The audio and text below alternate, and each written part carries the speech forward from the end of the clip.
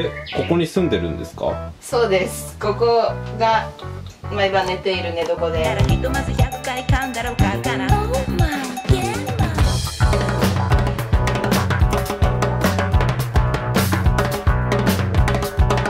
東京に帰ってなんか。洗濯機があったりガスコンロで火がついたりっていう方がよっぽどなんか嫌だというか 全然五感が使えなくてなんかえって思ってなんかすごい物足りなさがあって。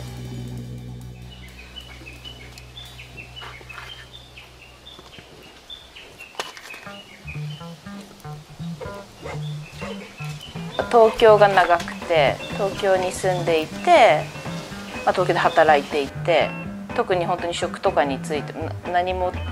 まあ、自分なりには多分考えて選択はしていたかもしれないんですけどスーパーで野菜を買ったりとか家電も毎日使ってたりとか 東京の中でなんか全くだから今とは真逆の生活をしてました。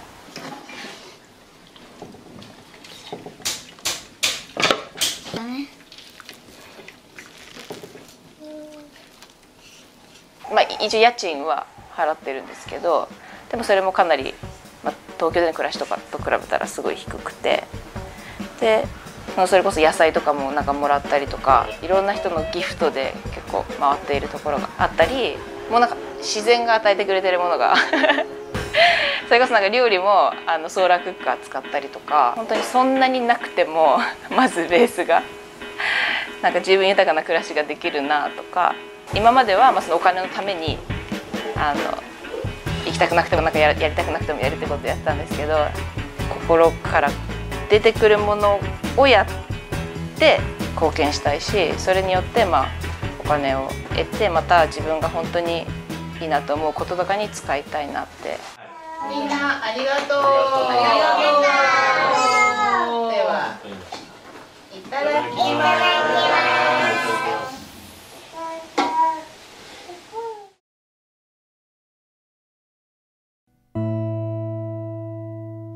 ちょっとでも自分の中でなんかそのんって思うその違和感とかがあったらそれをやっぱりすごい大事にしてちゃんとそこを見つめてあげるというかそこをこうなんでだろうとか違和感があるならちょっとやらないとかあとちょっとでもなんかそのポジティブに自分の気持ちが動いた時そっちに従ったりとかっていう今まで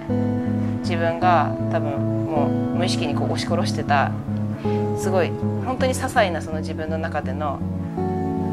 こうああっていうのを一つずつなんか大事にしてあげること。なんかこれはいけないとか良くないとかじゃなくて本当にこうふっていうその気持ちは全部大切にする。でもそこが結構今までも気づきたくてももう気づけないくらいこう押してることもあるんですけどやっぱりそれでも少しずつそこにこう気づいていってあげると多分どんどんどんどん自分のま本質に近づいていったりとかどうしたいのかとか多分自然にそれが沿っていくような気はしています。